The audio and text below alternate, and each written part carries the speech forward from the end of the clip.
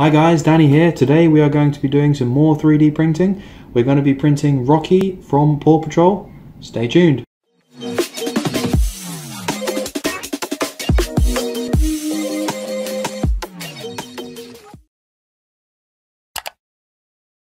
So I'm going to be giving you an in-depth look on how to print this file. I'll be showing you the printing process. I'll also be painting the model. So I thought this would be an interesting video. What I like about printing um, maybe what you could call toys or cartoon characters is you can give these to uh, children in your family or you can paint them with them. This is also really nice to get their creative side flowing. So let's check it out. We're going to go to our favorite web browser we're going to go to our search and type in Thingiverse. Let's go into Thingiverse. In the search we're going to type in Rocky Paw Patrol. This is the model we'll be using today. You should always check the summary for any recommended print settings. This file does not appear to have any. We're going to go ahead and click download all files. Save this to our desktop. We're going to extract the files using WinRAR. Here are our files. Our print file is in files called rocky underscore simplified. This is a .stl file. We're going to open Cura. I'm using Cura 2.7. So we're going to drag our print file into Cura. It gets placed on the center of the print bed. We're going to click on the print. It's come out very small but that's fine. We can go over to scale on the left. We can either enter a percentage or we can use this button here. So we're going to scale up the print. We're then going to go to rotate. We're going to move it so it's flat on the print bed. So down on the bottom right we have our estimated print time. Bear in mind this is an estimation and it's not always accurate Let's make it a little bit bigger. Okay, um, so on the right hand side we have our print settings.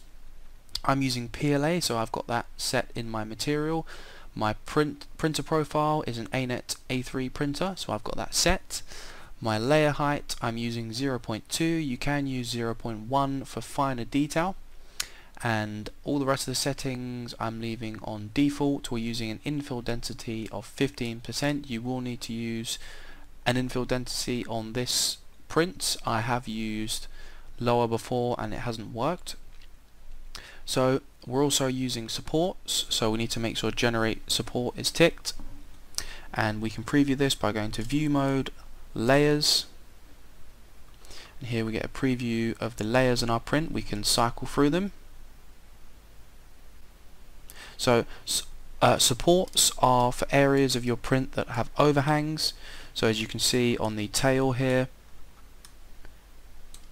there is an overhang, so supports are generated.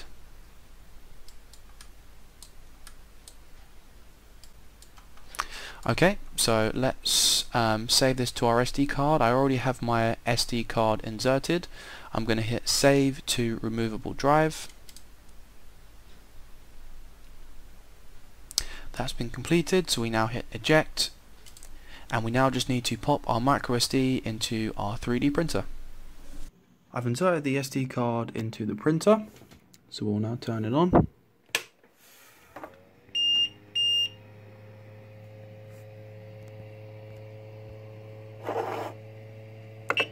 We'll go into the menu to print from SD and there we have our file, our .stl file, so we select that. The printer will start to heat up. Um, my printer's already pretty hot because I just leveled the bed, which you should do. If you want a guide for this, I will put a suggestion at the top of the video.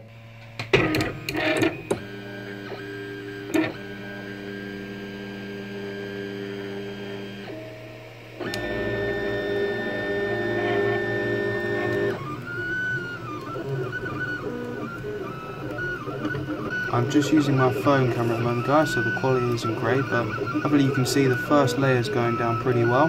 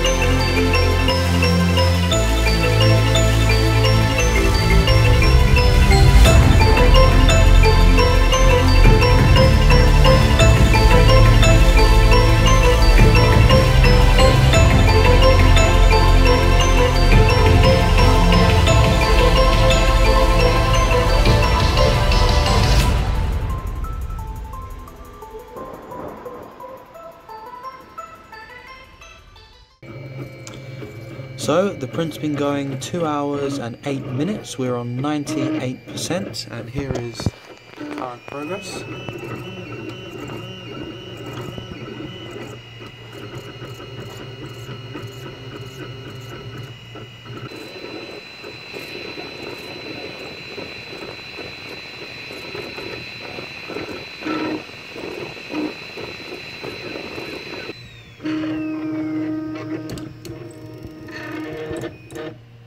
Go, our print's complete.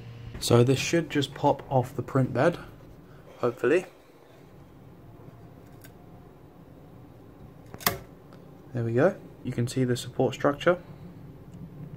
So, I'm going to get my little toolkit out and we're going to clean this up. So this support structure should just pull away. We need to be careful because this tail is pretty fine, so we don't want to break that. This leg also looks loose, which is not good.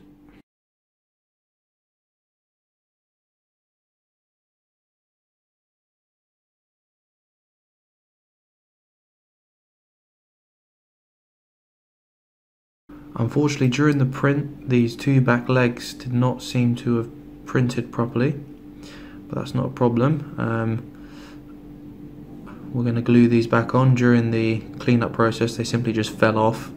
We're just going to use some super glue.